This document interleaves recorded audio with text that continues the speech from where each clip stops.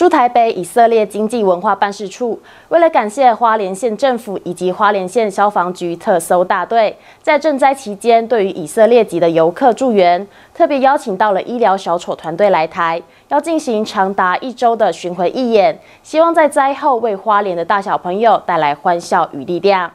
四月强震重创花莲，不仅造成多处建物损毁，也让乡亲受到心理创伤。驻台北以色列经济文化办事处为了感谢花莲县政府及花莲县消防局特搜大队在赈灾期间对以色列及游客的援助，特别邀请医疗小丑团队跨海二十小时航程抵达花莲，将进行长达一周的巡回义演。Israel, my country, is going through very difficult time now.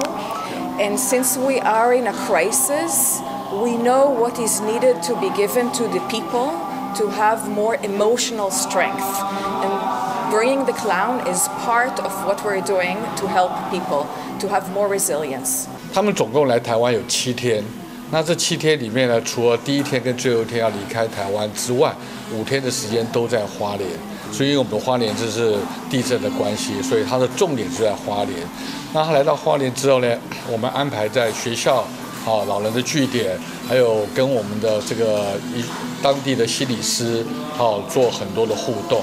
三十号上午，花莲县长徐正伟也前往米伦照护站视察医疗小丑义演现场，不仅受到长者热烈欢迎，徐县长也向以色列代表介绍花莲县广设照护据点的政策成果。那今天在米伦的日照站看到我们的长者跟我们的小丑医生的互动，真的是非常非常的感动，而且我们的长者非常的活泼，也跟这个我们的小丑医生一起互动。那两个非常非常的开心，我想这也是在我们销售医生在巡回世界各地，把欢笑温暖给带给世界各地的同时，